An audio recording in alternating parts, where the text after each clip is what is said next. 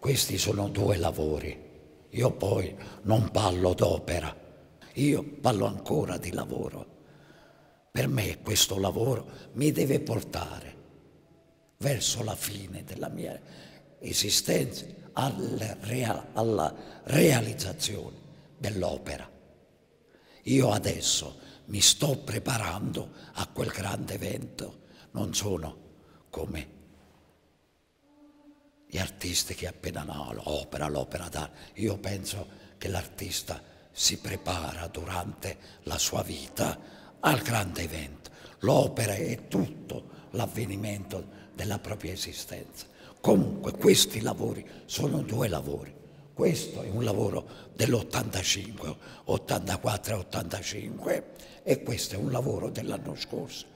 Però la rappresentazione è un po', un po' la stessa, la manipolazione della terra in un altro modo, non nel modo dei ceramisti, non nel modo dei vecchi scultori, in un altro modo, in un altro modo differente.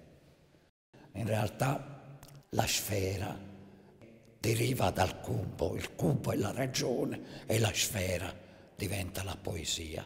Il cubo lo esponiamo al vento, il vento lo consuma, il mare consuma la, la, il cubo e diventa una sfera. È il percorso che la natura fa sugli elementi così e li trasforma. E questo è lo stesso, come si chiama, è, è, è, è il mio te- tentativo di non diventare scultore da grande, ma di diventare natura. Terra è, è il primo elemento che si trova appena viene al mondo così. I bambini, i primi giochi, i primi sogni li fanno con la terra. La mangiano la terra, si sporcano con la terra, si, si disegnano con la terra, fanno i cerchi per terra e man mano che diventano adulti smettono di occuparsi della terra. Anche se poi ci devono tornare per forza alla terra.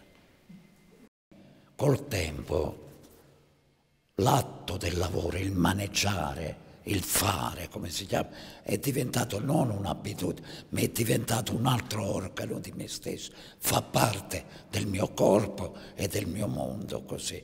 È,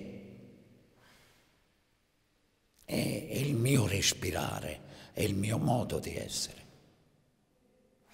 è un'esigenza reale, non un'abitudine, è un'esigenza, un'esigenza con la quale sto bene e vivo meglio.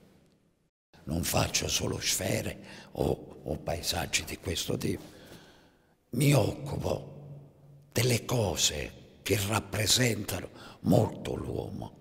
Per me la terra è come se fosse un grande corpo umano e noi ne rappresentiamo una parte piccolissima e io è come se volassi. E ogni tanto mi avvicino alla terra e certe cose appaiono nitide, molte volte durante il volo mi allontano e non si capisce bene, può essere, non so, questo paesaggio che non, non si sa cos'è, ma è una parte, è un particolare della terra e la terra è un particolare del corpo dell'infinito, del cosmo. Perché nel cosmo la possibilità di investigazione è enorme, enorme, enorme, enorme. Possiamo vivere di rendita per un milione di anni con la fantasia se ci inoltriamo nel cosmo, se invece siamo attaccati alla terra dove stiamo non c'è fantasia, non c'è mondo, non c'è sogno, non c'è gioco, non c'è volo, non c'è niente. Ecco, è l'ideale, l'astrazione è l'ideale, l'ideale che può essere, può essere politico, filosofico, poetico, l'importante è avere un ideale. L'ideale è cos'è? Uno scopo, una mira un percorso. Ecco, io voglio arrivare là, non lo so se ci arriverò, ma già il fatto che mi riprometto, mi metto in cammino, già va bene questo. Questo dovrebbe essere l'aspirazione, non dell'artista, ma l'aspirazione dell'uomo, di ogni mestiere. Andare oltre, anche se non ce la faremo, tentare